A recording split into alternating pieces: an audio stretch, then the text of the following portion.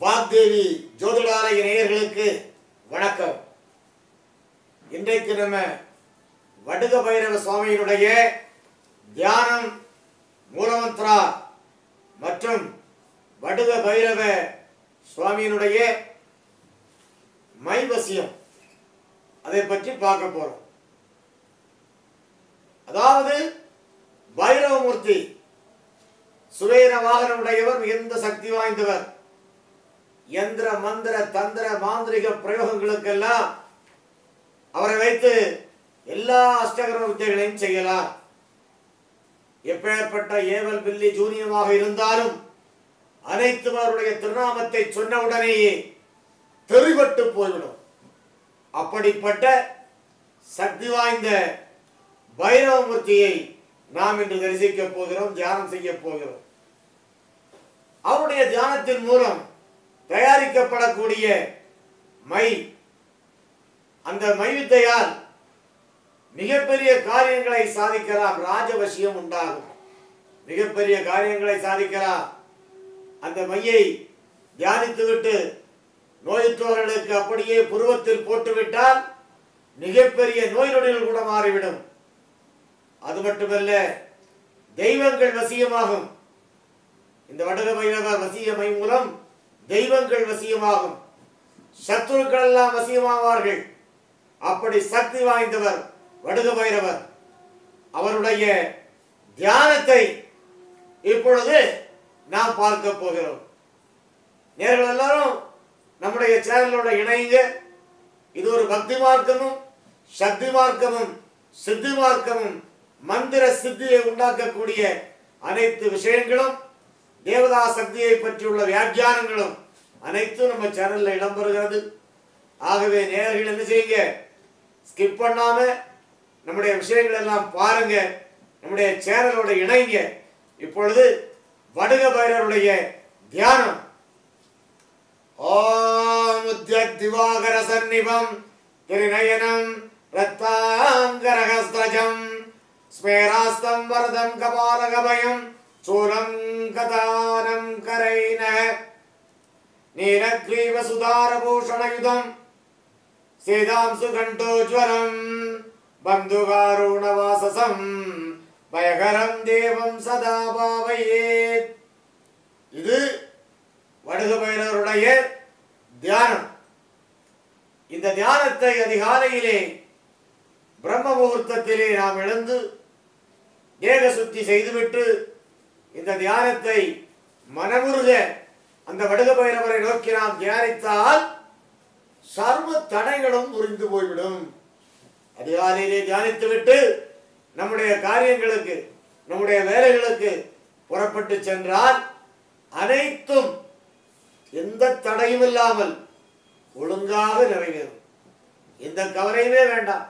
அலுவலகத்தில் உள்ள பிரச்சனையாக இருக்கட்டும் குடும்பத்தில் உள்ள பிரச்சனையாக இருக்கட்டும் நம்முடைய வியாபாரத்தில் உள்ள பிரச்சனையாக இருக்கட்டும் அனைத்து பிரச்சனையும் இந்த வடுக பைரவர் தியானத்தை அதிகாலையிலே ராஜச தியானத்தை அதிகாலையிலே தியானித்து விட்டு வெளியே சென்றால் அனைத்து மங்களங்களும் உண்டாகும். அஷ்ட சக்தி கடாட்சம் உண்டாகும். சிவனுடைய ஐந்து திருமுகத்தினுடைய சக்தியும் நமக்கு கிடைக்கும். ஆகவே இந்த தியானத்தை ஜெபித்து நம்முடைய வடுக பைரவரை தியானிப்போம். அந்த வடுக பைரவருடைய மூல மந்திரம் ஓம் ஹ்ரீம் வாம் வடுகாய ஸ்ரைம் ஆவத்தாரணாய குரு குரு வடுகாய ஹ்ரீம் வடுகாய ஸ்வாகா. என்ன ஒரு தடவை சொல்றேன் அது நீங்க எழுதக்கூடிய அளவுல அதை பார்த்துடுங்க ஓம் ஹ்ரீம் வாம் வடுகாய ஸ்ரைம் குரு குரு வடுகாய ஹ்ரீம் வடுகாய ஸ்வாகா. இது வடுக பைரவருடைய மூலமந்திரம். இந்த மூலமந்திரத்தை ஜெபித்துத்தான் நாம் சொல்லக்கூடிய ஒரு மை வடுக பைரவரை ஆகர்ஷணித்து அவர் மூலம் பல்வேறு காரியங்களை சாதிக்கக்கூடிய ஒரு வசிய மை அது சொல்லப்பட்டிருக்கிறது. அந்த மசியை பற்றி மையை பற்றி நம்ம பார்ப்போம். அதாவது ஒளியை உண்டாக்கக்கூடிய கற்பூரம் கோரோசனை ஷடமாஞ்சில் செஞ்சந்தனம் குங்குமம் அகில்கட்டை குங்கிலியம் கோஷ்டம். இவ்வளவு பொருளும் இவ்வளவு பொருளும் நமக்கு வேணும். இந்த பொருளை எல்லாம் குளியம்பில விட்டு குளியம்பில வச்சு என்ன இன்னொரு சொல்றேன். கற்பூரம் கோரோசனை சடமாஞ்சில் செஞ்சந்தனம் குங்குமம் அகில்கட்டை குங்கிலியம் கோஷ்டம். இப்படி இந்த அஷ்ட பொருள்களையும் எட்டு பொருள்களையும் நம்முடைய குளியம்பில வைக்கணும். குளியம்பில வச்சு வடுவடுன்னு தள்ளணும். தள்ளி குளியம்பில் உள்ள அந்த அம்மியால வடு வடு வடுன்னு கம்ப்ளீட்டா அரைச்சி பன்னீர் விட்டு அரைக்கணும். சுத்தமான பன்னீரா இருக்கணும். அந்த பன்னீரை விட்டு அரைத்து அதை இந்த மந்திரத்தை சொல்லி சொல்லி அரைக்கணும். இந்த மந்திரத்தை. அவருடைய மூல மந்திரத்தை சொல்லி சொல்லி அவருடைய அவருக்கு ஒரு படுக்கை அது முன்னால போடணும். கல்லை வச்சு இதை அரைக்கணும்னு சொன்னா அந்த இடத்துல கல் வச்சிருக்கோம்னா இன்னும் கல் வச்சுருக்கணும்னு சொன்னா அந்த கல்லுக்கு முன்ன அவருக்கு ஒரு கும்பத்தையோ அவருக்கு ஒரு படுக்கையோ போடணும். பூஜையை போட்டு அதுக்கு முன்ன இந்த மையை நம்ம அரைக்கணும் அந்த மூல மந்திரத்தை சொல்லி அரைக்கணும் சுத்தமான மை. அந்த மூல மந்திரம் சொல்ல சொல்ல அந்த மை என்ன செய்யும்? சக்தி வாய்ந்ததாக அரைக்க அரைக்க அதில் அவருடைய ஆகர்ஷண சக்தி உண்டாகும். ஆனா இந்த மை பிரயோகத்தை அரைத்து தயார் பண்ணுவதற்கு முன்பாக வடுக வைரவருக்கு பூஜையிட்டு அவரை அவருடைய சித்தியும் அவருடைய அனுகிரகம் நாம் பெற வேண்டும். அவருடைய சித்து இருந்தா மட்டும்தான் அனுகிரகம் இருந்தா மட்டும்தான் இந்த மை உயிர் வரும். ஒரு மிகப்பெரிய மாந்திரிக சித்தியை பெற வேண்டும் என்றால் அது உடனே ஒரே நாளிலே நடக்காது. அப்படி இருந்தால் நாம் சில காரியங்களை தியாகம் செய்துதான் ஆக வேண்டும். அப்ப அதற்கென்று காலம் எடுக்கும். இது சித்தி பெற்று விட்டால் மிகப்பெரிய நோயை தீர்க்க முடியும். மிகப்பெரிய பேய் பிசாசு உபதிரவங்களை தீர்க்க முடியும். மிகப்பெரிய ஏவல் விவகாரங்களை தீர்க்க முடியும். இப்படி சக்தி வாய்ந்த இந்த மந்திர தியானத்தை நாம் தொடர்ந்து சொல்லிக் கொண்டிருந்தால் இதெல்லாம் நடக்கும். அப்போ ஒரு பெரிய மிக மதிப்பும் மரியாதையும் செய்து தெய்வ சக்தி மிகுந்தவர் தெய்வ சித்தி மிகுந்தவர் இந்த பேரும் கிடைக்கும்.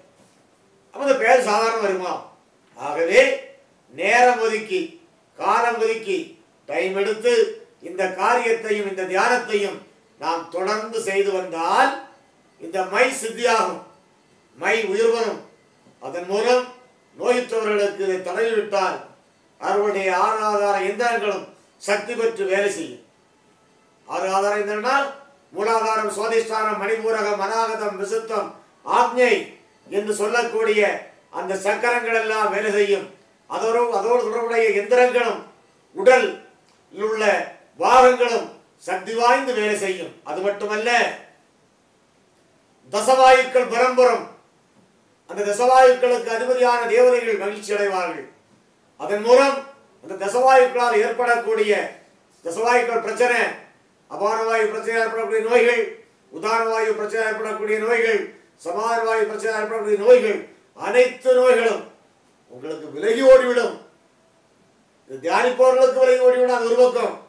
இந்த மையை இந்த வடுக பைரவர் மையை நாம் யாருக்காவது பூசிவிட்டால் அவர்களுக்கு அந்த நோய் பாதை இருந்தால் அது மாறிவிடும்.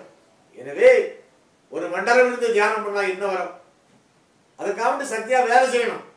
இன்னொரு ஆள் அரிச்சு தருவாங்க. அதை நம்ம பயன்படுத்தலாம்னா அது சரி வராது.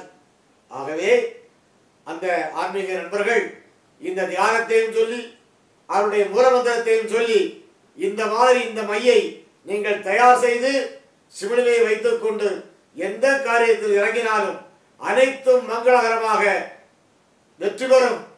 மங்களம் கிடைக்கும். அஷ்ட மங்களமும் அஷ்ட சக்தியும் அஷ்ட சித்தியும் வடுக பைரவருடைய தியானத்தின் மூலமும் இந்த பூஜையின் மூலமும் இந்த மயிலுடைய மூலமும் நாம் அடையலாம். அதற்காக அவரை தியானித்து சர்வசக்தியும் பெறுவோம். வாக்தேவியை நமோ நமக